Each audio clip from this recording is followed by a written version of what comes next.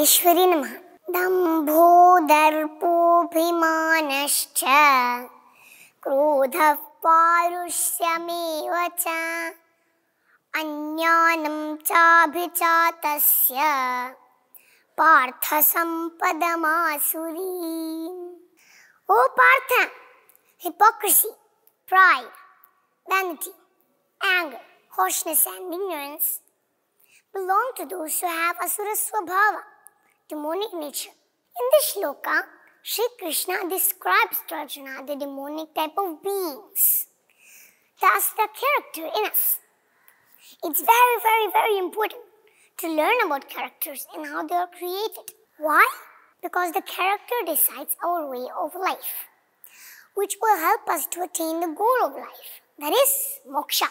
Now, let's take a quick look at these demonic qualities, Asuri Sampat. First, hypocrisy, Dambha. That's a person who does self promotion in the disguise of charity and pretends he is following Dharma. Next, pride, Darpa. That's when you think you are so great or best in a skill, like for example in music. But are you?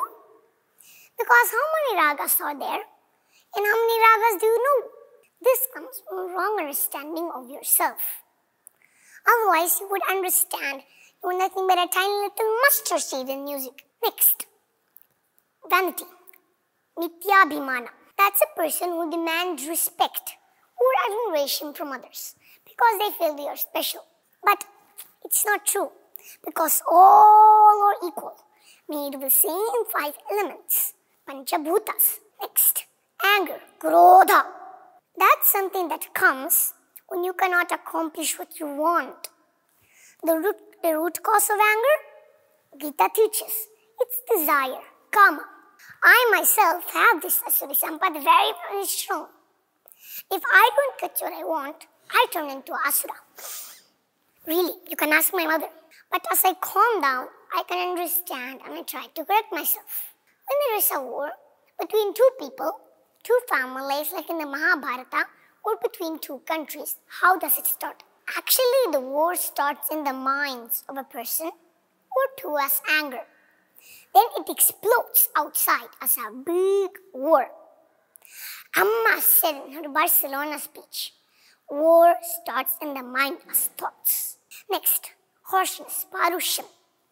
Sri Krishna mostly refers to harshness in speech. You speak harsh, you say hurtful things to people without compassion for their situation. Next, ajnana, ignorance of dharma and adharma. You think things like name and fame, money and position are important. And you create a philosophy that justifies your wrongdoing. Now, you recognize all these, don't we? Everyone has demonic qualities and deva qualities within us. We're in a constant battle with these. While on Gita, you might think to learn to recognize these qualities within us and to defeat all asuras within us and to be successful. I pray to our beloved Amma to remove all our demonic qualities. Om Amriteshwari Namaha.